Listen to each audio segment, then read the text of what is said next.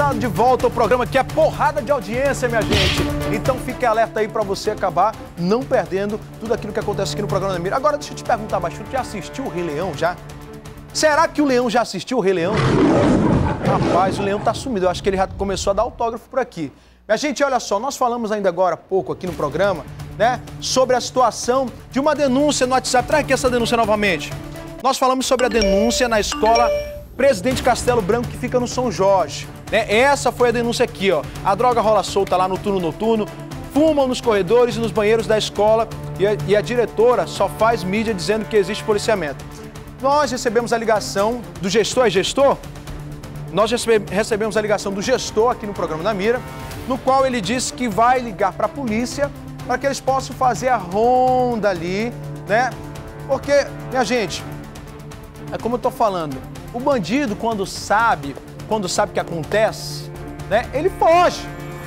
Aí os pais ligaram, para você ver a noção, para você ter noção da audiência do programa da Mira. Os pais ligaram para o gestor, vários pais ligaram, e aí ele ligou para cá para o programa para dizer que vai começar a ter fiscalização mais intensa no colégio, né? Para que esse tipo de coisa não possa voltar a acontecer. Parabéns para o gestor, é isso aí né? É isso que tem que fazer mesmo. A nossa juventude está se perdendo por conta dessas facções, estão sendo aliciadas, né? E muita gente acaba entrando nesse mundo.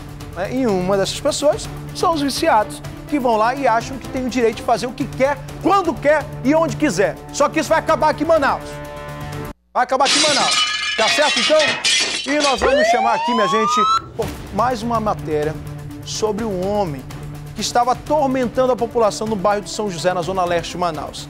Ele foi preso através do cumprimento de mandado de prisão. É isso mesmo. Aí o que, vai acontecer agora? Agora o camarada né, vai ficar de boas atrás das grades. Né? Traz aqui na tela do Namira para mim. Ocorrência registrada no nono Distrito Integrado de Polícia. O delegado é o Dr. Pablo Giovanni. Aqui tem uma celebridade, um inimigo da verdade, praticante do mal, que está preso. Ele é o zervezeiro, é ladrão, usa arma, rompeu a tornozeleira eletrônica, é o bichão. Esse cara é o seguinte, é o Johnny Lima Bezerra, de 33 anos de idade. Ele foi preso na casa dele, no bairro São José. Estava com esta arma aí, um 32, cinco munições não deflagradas e a tornozeleira, ele quebrou. E tava de boa, pensando ele que o céu estava azul. Esse rapaz, vejam só o modo operante dele. Ele vem em uma via pública e roubou o celular de um cidadão que estava sentado na porta da casa dele. Na sequência, ele tentou assaltar uma escola municipal, mas esse assalto foi frustrado. Aí a polícia pega, não pega, pega, não pega, pegou. Conseguiu prender o Johnny Lima Bezerra, de 33 anos de idade. Ele também tinha outra prática.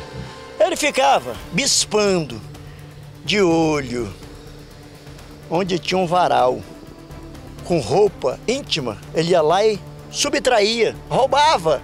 Ele pegava as calcinhas das mulheres e ó, cheirava a calcinha. Tu já imaginou um negócio desse? Pode?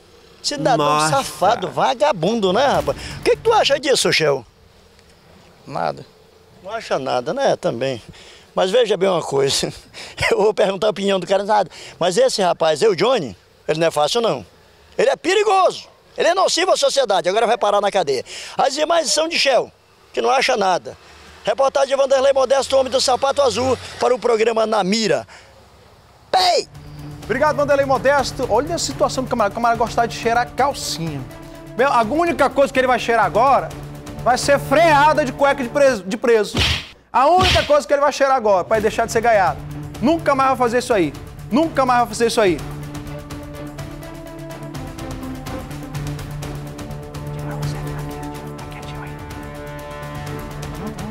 Ah, não acredito nisso.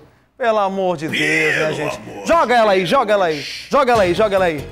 Joga ah, onde? Obrigado pela sua participação, obrigado pela sua audiência. Você que me assiste pelo Facebook, pelo WhatsApp e também pelo canal 10.1. Segunda-feira eu volto, vou ali dançar um pouco com a minha esposa nesse final de semana.